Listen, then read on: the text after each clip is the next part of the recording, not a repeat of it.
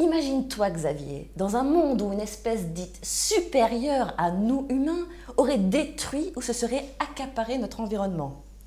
Imagine que cette espèce largement responsable de notre disparition progressive nous enfermerait ensuite dans des enclos ou des cages au nom de notre propre survie, nous prendrait en photo, nous jetterait des cacahuètes, nous empêchant au passage de mener une vie sociable digne d'être vécue. Ne serions-nous pas malades, fous, déprimés à en mourir? On se croirait en pleine science-fiction ou film d'horreur, mais cette situation est pourtant le lot de bon nombre d'animaux dans nos zoos. Aujourd'hui, on est dimanche 3 mai. En fait, le collectif 69 Life France se réunit euh, aux eaux de Vincennes pour dénoncer la captivité des animaux. Pour nous, il n'y a aucune raison valable d'enfermer des animaux. Euh, ça nous rappelle un peu, euh, il, y a plusieurs années, on enfermait des êtres humains. Maintenant, aujourd'hui, c'est aberrant de voir ça. Bah, pour nous, en fait, on veut expliquer aux gens que enfermer des animaux, c'est pas normal. Les zoos essayent de faire penser que c'est pour préserver les espèces.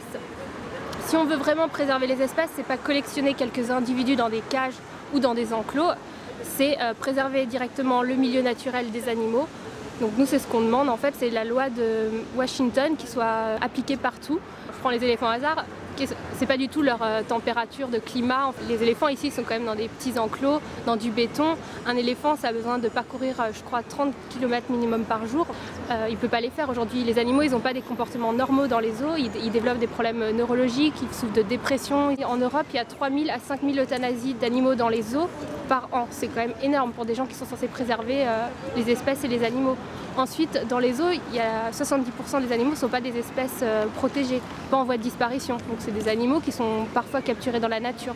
Aujourd'hui, là, on dénonce les eaux, mais on dénonce la captivité des dauphins, donc les delphinariums, euh, des orques, par exemple Marineland, euh, enfin, tous les parcs aquatiques.